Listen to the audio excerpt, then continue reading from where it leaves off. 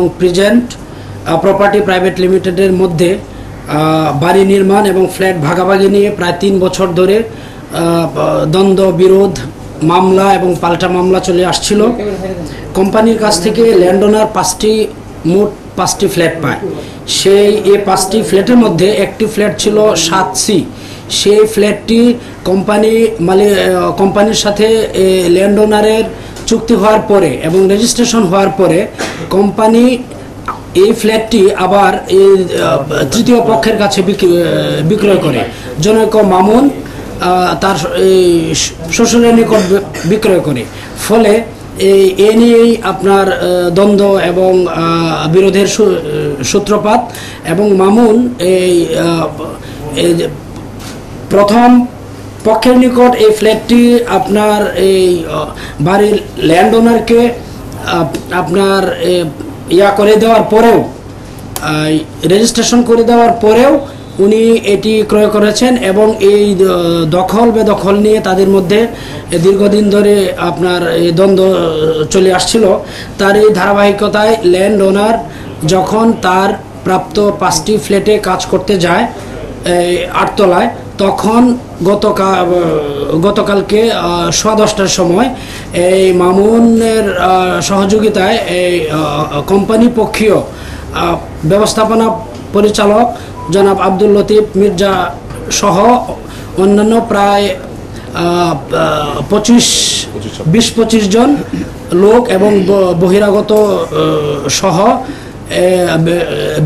Victim তানজিলের উপর আক্রমণ করে এবং তাকে কিল ঘুষি লাথি মারে এবং গলা চেপে ধরে, ফলে সে অসুস্থ হয়ে যায় এবং তাৎক্ষণিকভাবে তাকে পার্শ্ববর্তী মনোহরা হাসপাতালে নিয়ে যাওয়া হয় এবং কর্তব্যরত ডাক্তার তাকে মৃত ঘোষণা করে। এর ফলে ভিকটিমের বাবা জনাব সুলতান আহমেদ বাদী হয়ে ষোলো জনকে আসামি করে একটি মামলা, হত্যা মামলা দায়ের করেছেন এবং এই হত্যা মামলা দায়েরের পর ইতোমধ্যে আমরা এই ষোলো জন আসামির মধ্যে পাঁচজনকে আমরা গ্রেফতার করতে সক্ষম হয়েছি এবং এবং আমরা তাদেরকে রিমান্ডের জন্য আবেদন করব।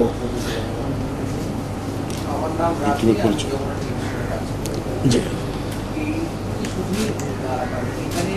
একজন নেতা তার মালিকানাধীন যে ডেভেলপার কোম্পানি এবং তার লোকজন হামলা করেছে এমন। তো আপনারা আপনাদের প্রাইমারি ইনভেস্টিগেশনে সেই নেতার লোকজন বা সেই প্রপার্টিসের লোকজনের কাউকে গ্রেফতার করেছেন তাকে আগে চিহ্নিত করেছেন আর কি পরিমাণ সংযুক্ত তিনি?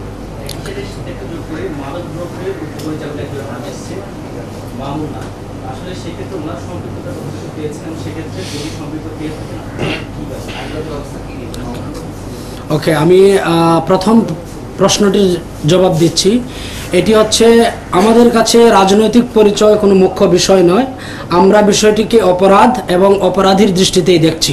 অপরাধী যেই হোক, তদন্তের আওতায় তার যদি দায় থাকে, তার যদি দোষ প্রমাণিত হয়, অবশ্যই আমরা তার বিরুদ্ধে আমরা চার্জশিট দিব।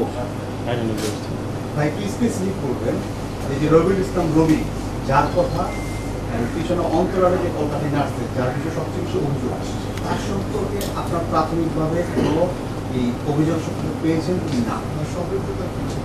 না আমরা অভিযোগের সত্যতা পাচ্ছি এটা তদন্তাধীন বিষয়। আমরা তদন্ত সমাপ্ত করলে আমরা মানে কে কতটুকু দোষী বা কার কি এখানে ইন্ধন ভূমিকা ছিল সব কিছু পরিষ্কার হয়ে যাবে। পরিষ্কার সম্পৃক্ততা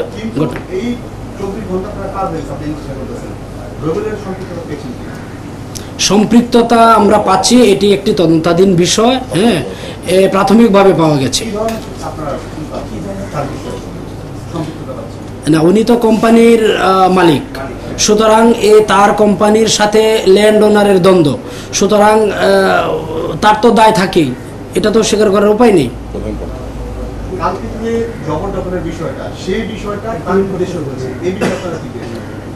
না নির্দেশে কার নির্দেশে ইতোমধ্যে আপনারা জানেন যে আমাদের আমরা অলরেডি তদন্তে নেমেছি আমরা পাঁচজন আসামিকে গ্রেফতার করেছি এর মধ্যে কোম্পানির ম্যানেজিং ডিরেক্টরও আছেন। সুতরাং এতে এ- থেকে পরিষ্কার এখানে আপনার মানে অনেক গুরুত্বপূর্ণ একজন মানে কর্মকর্তা ওই কোম্পানির তাকে আমরা গ্রেফতার করেছি। সুতরাং এটা আপনার কাউকে আপনার ইয়া ছাড় দেওয়া বা এড়িয়ে যাওয়ার কোনো সুযোগ নাই। আরেকটা বিষয় এই ঝামেলাটা অনেকদিন চলছিল। করে কালকে এই ঘটনা ঘটানো মানে দখলের যে বিষয়টা এটা বলা হচ্ছে এটা রাজনৈতিক প্রভাব এখানে ঘটনার জন্য থাকিয়েছে এই বিষয়টা মানে প্রশ্নে এসেছে। এই- যুক্ত করে সম্ভবত পরশু দিন কিংবা তার আগে জিডি করতে চেয়েছিল সম্ভবত থানায় সেই জিডি তখন নেওয়া হয়নি। এরকম অভিযোগ না আপনারা জানেন যে একটি অভিযোগ গিয়েছিল তার তারপরে আপনার এই অফিসার ইনচার্জের আপনার কর্তব্যে অবহেলার জন্য তাকে সংযুক্ত করা হয়েছে। অলরেডি ক্লোজ করা হয়েছে।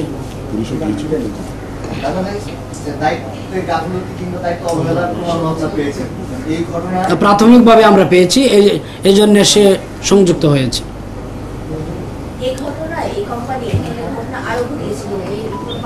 না এখন পর্যন্ত আমরা ওই ধরনের তথ্য পাইনি। যদি তদন্তে আসে আমরা তদন্তে সেগুলি ইনক্লুড করে নেব। জি। ভাই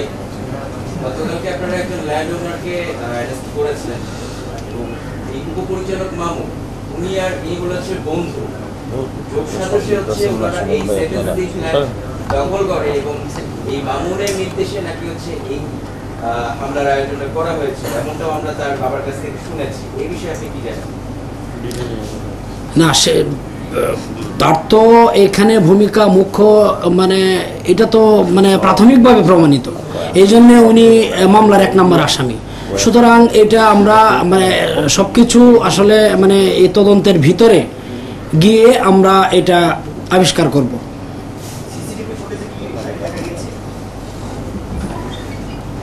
আমরা এখনও সিসিটিভি ফুটেজগুলি একেবারে পরিপূর্ণভাবে এই, সব কয়টি বিশ্লেষণ করতে পারিনি। আমরা বিশ্লেষণ করব এবং তার এখানে উপস্থিতি আছে কিনা সেটি আমরা নিশ্চিত করব। ধন্যবাদ সকলকে। এক নম্বর আসামি। জি। এখন পর্যন্ত তাকে গ্রেফতার করার জন্য আমাদের অভিযান এবং প্রচেষ্টা অব্যাহত আছে। আমরা আশা করছি খুব দ্রুতই বাকি আসামিদেরকে গ্রেফতার করে আইনে সোপর্দ করতে পারব।